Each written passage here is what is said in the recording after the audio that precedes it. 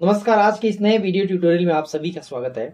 आज का हमारा टॉपिक है पाइवट चार्ट पाइवट चार्ट का यूज़ एम एस एक्सेल में हम तब करते हैं जब कोई डाटा बहुत बड़ा और कठिन होता है और जिसे एक साथ रखकर देखना और समझना काफ़ी मुश्किल होता है। तो ऐसे में हम पाइवट चार्ट का यूज़ करते हैं। पाइवट चार्ट हमारे सारे डाटा को एक साथ अरेंज कर उसे आसानी से समझने लायक बनाता है, उसे समझने योग्य बनाता है। तो चलिए शुरू करते हैं। जैसा कि आप मेरी स्क्रीन पर देख सकते हैं, मैंने एक डाटा तैयार किया हुआ है। इस डाटा के अंदर मैंने अलग अलग स्टूडेंट्स का नाम लिखा है, उनके रोल नंबर है, उनके अलग अलग सब्जेक्ट्स हैं टोटल मार्क्स हैं परसेंटेज ग्रेड और इस तरह का रिज़ल्ट वगैरह के ऑप्शन हैं। मेरी नीड ये है कि मैं ये कंपेयर करना चाहता हूँ कि किस स्टूडेंट का किस सब्जेक्ट में कितना स्कोर आया और उसको कंपेयर करने को भी मैं चार्ट के माध्यम से दिखाना चाहता हूँ।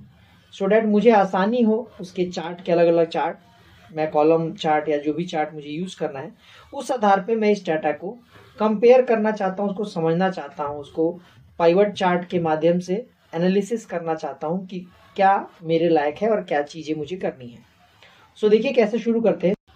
सबसे पहले आप जाएँगे इंसर्ट मेन्यू में और यहाँ आने के बाद यहाँ आपको थोड़ा सा आगे आना होगा। चार्ट के ऑप्शन में आपको मिलता है पाइवट चार्ट पाइवट चार्ट पे जैसे आप क्लिक करेंगे, आपके पास दो ऑप्शन है। एक है pivot chart and pivot table. तो पाइवट चार्ट आज का हमारा टॉपिक है। इसके लिए क्या करना है? सबसे पहले मुझे इस पर क्लिक करना होगा। जैसे मैं क्लिक करता हूँ तो आप समझ सकते हैं एक्सेल बहुत ही समझदार सॉफ्टवेयर है। ये अपने आप जो डेटा है, उसको ये अपने आप ही सेलेक्ट कर लेता है। और ऑटोमेटिक उसका सिलेक्शन बन जाता है। जैसे ये सिलेक्शन बन गया, देख सकते हैं सिलेक्ट टेबल और रेंज सबसे पहले ऊपर देखिए आप क्रिएट पाइवट चार्ट। नीचे वाली लाइन पे लिखा है choose the data that you want to analyse आप समझ सकते हैं मैं, जैसा मैंने शुरू में ही कहा, हम एनालाइज करने वाले हैं डेटा को चार्ट्स के माध्यम से। सेलेक्ट अ टेबल और रेंज यहाँ पे आप देखिए ऑलरेडी टेबल वन लिखा हुआ है, यानी कि ये मेरी इस शीट का नाम है। और नीचे आएँगे आप, यहाँ पे देखिए choose where you want the pivot chart to be placed आपको चूज़ करना है कि कहाँ पर पाइवट चार्ट को आप प्लेस कराना चाहते हैं। तो एक ऑप्शन है कि एग्जिस्टिंग वर्कशीट पे करें। एग्जिस्टिंग वर्कशीट मतलब यही वाली शीट जिस पे मैं कहीं क्लिक कर दूँगा और वो वहाँ पे ओके करने के बाद वहाँ बन जाएगा। लेकिन मेरी नीड है कि यहाँ पे मेरे को जगह कम मिल रहा है। या मैं चाहता हूँ कि एक नए पेज पे हो।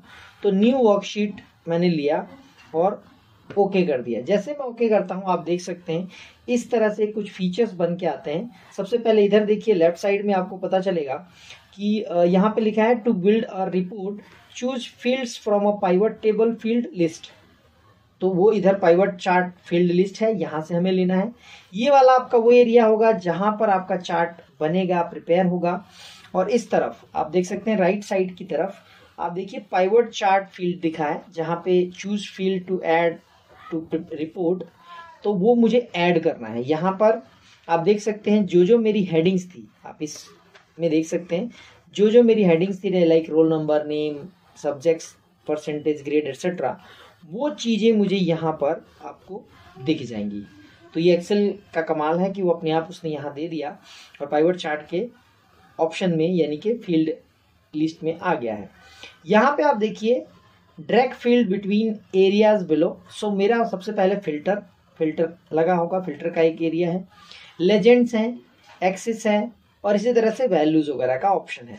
मैं यहाँ पर शुरू करता हूँ। जैसे मान लीजिए, मुझे नाम के आधार पे अगर ये कंपेयर करना है कि कौन से स्टूडेंट का कितना मार्क्स रहा, और उसको भी मुझे करना है चार्ट के माध्यम से तो मैं नाम पे क्लिक करूँगा। आप देख सकते हैं।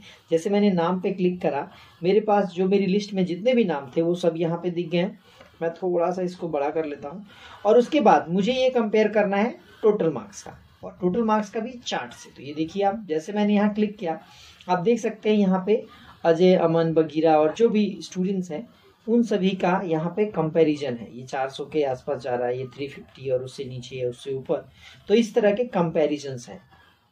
यहाँ पे आप देख सकते हैं। इसके अलावा अगर आप मुझे, मैं ये कहूँ कि मुझे टोटल मार्क्स की जगह पे मुझे परसेंटेज के आधार पे चार्ट देखना है। चार्ट में कंपैरिजन करना है, मुझे एनालिसिस करना है तो मैं यहाँ पे देख सकता हूँ और अपना जो भी मुझे इस तरह का एनालिसिस करना है, जो भी मुझे इसमें से खोजना, ढूंढना है, वो मैं यहाँ से देख सकता हूँ। इसको ऐसे भी किया जा सकता है कि अगर आप कहें कि अलग अलग स्टूडेंट्स का कंपैरिजन उसके अलग अलग सब्जेक्ट के आधार पे भी करें। जैसे मैं कह रहा हूँ, हिंदी और इंग्लिश जो मेन हमारी लैंग्वेजेस हैं, मैं इन दोनों के आधार पे यहाँ पे देखता हूँ तो आप यहाँ पे देख सकते हैं। ये राइट साइड में आपको सम ऑफ़ हिंदी लिखा होगा, सम ऑफ़ इंग्लिश लिखा होगा। मीन्स कि जो रेड कलर है, वो इंग्लिश है, और जो ब्लू कलर है, वो आप समझ सकते हैं वो हिंदी के चार्ट से। तो इस तरह से हम ये दो सब्जेक्ट्स का आपस में कंपेयर करते हैं कि किसी की जो भी स्टूडेंट है, जैसे अजय है, इसकी भाषा पे कितनी पकड़ है, हिंदी में इसके कितने परसेंटेज आ रहे हैं या मार्क्स आ रहे हैं, और उतने इंग्लिश में कैसे आ रहे हैं। सो इस तरह से आप देख सकते हैं बगीरा का सबसे बढ़िया यहाँ पे परसेंटेज रहा है, निक्की का किस तरह का रहा है। और उसमें भी इंग्लिश में किसकी पकड़ अच्छी है, हिंदी में किसकी अच्छी पकड़ है। इसी तरह से अगर और कंपेयर हम करें चार्ट को थोड़ा और अच्छा बड़ा बनाएँ तो हम मैथ भी टिक करें। आप देख सकते हैं एक स्टूडेंट के ये तीनों एसएसटी अगर ऐड कर रहे हैं तो चारों का आप कंपेरिजन कर सकते हैं। साइंस आप ऐड कर रहे हैं तो ऐसे आप कंपैरिजन कर सकते हैं। तो आपको ये जो बॉक्सेस दिख रहे हैं, जो टावर्स दिख रहे हैं, ये इंडिकेट करते हैं जो बड़ा टावर इसका मतलब है ज़्यादा मार्क्स छोटा टावर इसका मतलब है कम तो ये एक ऑप्शन है हमारे पास कंपैरिजन करने का एनालिसिस करने का, समझने का डाटा के बारीकियों को. अब देखिए, जैसे यहाँ पर मैं, मान लीजिए कि मैं ये हटा देता हूँ. मैं जैसे यहाँ पे जानना चाहता हूँ कि कौन से सब्जेक्ट में बच्चों के ओवरऑल मार्क्स कितने ज़्यादा आए अगर मान लीजिए मैं यहाँ पे कहूँ हिंदी तो आप ये समझ सकते हैं, जैसे अगर मैं नेम पे पहले क्लिक करूँ तो आप देख सकते हैं यहाँ पर दस बच्चे हैं। तो दस बच्चे का मतलब अगर सौ मार्क्स का है दस नहीं, नौ है यहाँ पर। तो नौ बच्चों का अगर सौ मार्क्स का एक पेपर है तो आप समझ सकते हैं कि अगर सौ मार्क्स का पेपर है तो एक सब्जेक्ट में नौ सौ मार्क्स का पेपर है। नौ सौ में से कितना किसका आया? तो उसको भी मैं चार्ट के माध्यम से कंपेयर करना चाहता हूँ और मैं टीचर्स को मैं ये बताना चाहता हूँ कि आपको किस किस सब्जेक्ट में आपके कौन कौन से टीचर्स का क्या क्या सब्जेक्ट है और उन सब्जेक्ट्स में उनका परफॉर्मेंस कैसे रहा है, वो एनालिसिस करना है तो आप एक एक करके सारे सब्जेक्ट्स पे आप क्लिक करते जाइए। जैसे आप साइंस पे कर रहे हैं, आप देख सकते हैं। यहाँ पे आप कंपेरिजन कर सकते हैं कि 900 में से किसी किस टीचर का सबसे बढ़िया परफॉर्मेंस रहा? तो देखिए आप इंग्लिश का सबसे बढ़िया परफॉर्मेंस रहा। सेकेंड नंबर पे आप समझ सकते हैं मैथ का परफॉर्मेंस रहा। और सबसे जो कम छोटा टावर जो दिख रहा है, छोटा कॉलम दिख रहा है, वो है आपका sum of S S T तो आप ऐसे, अगर आप प्रिंसिपल हैं या इस तरह की आपकी नीड है, कि आप कंपेयर करके स्टूडेंट टीचर्स को ये बताएँ कि देखिए आपका परफॉर्मेंस कैसा रहा, कौन टीचर टॉप पे है, कौन बॉटम पे है, और इस तरह का। तो आप ऐसे कंपैरिजन भी कर सकते हैं।